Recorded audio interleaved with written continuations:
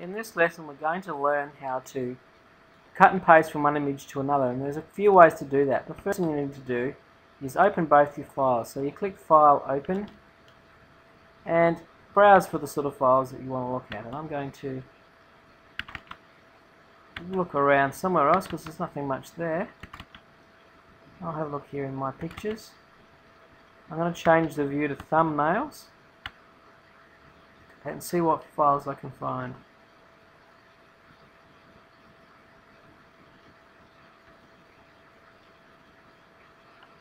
Now I'm going to select an old picture folder here and I'm going to have another look in here.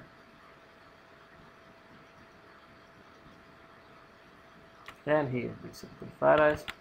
Double click on here.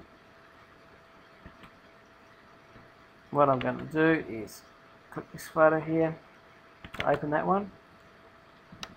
And that'll open on the screen. Now if you maximize it like this and you won't be able to see your other images so you select the middle button up at the top which will allow you to have several pictures on the screen. Now I'm going to find another picture.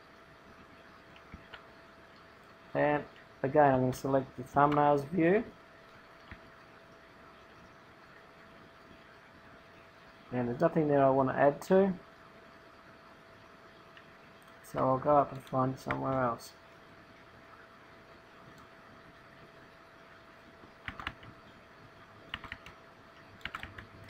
And let's just say I want to put her lying down in front of this picture. So I'll open this picture too. Now I've got two files open. What I'm going to do is I'm going to cut this picture out here and put her lying down in front of there. Now the easiest way to do that is to use a tool over here called the magnetic lasso tool.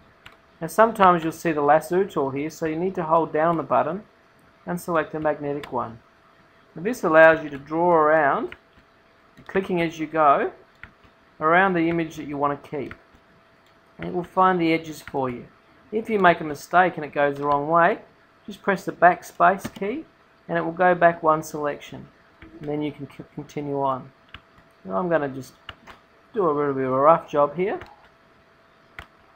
and work my way around this picture of my daughter who's fast asleep until I get back to the beginning. And when you get back to the beginning it will change to this dotted line. If you don't have it clear end, you can just double click and it will do that. Now I'm also going to select the feathering up here to 2 pixels. This will give it a bit of a smooth edge. We'll make it 3 rather than a, a very sharp edge. Now to move it over I have to change to the move tool. So I click on the move tool over here then click and hold down this section. You'll notice it can move away and you'll see it's a bit of a blurry edge. I'm going to drag it down onto this photo. And there you go. I've actually put her in the in the front there. I'm going to move her over a bit so it looks like she's lying down in front of the picture and with a slight blurry edge there it doesn't look really obvious that I've cut it out. You'll notice on the side here in the layers this is a layer on top of that so I can alter this image here and it won't affect the background. I'll also alter the background and it won't affect this image here. I'm going to save this as new merged and again, if I want to, got to change it to a JPEG so you can find it in any program and click Save. Leaving the quality as it is, away we go.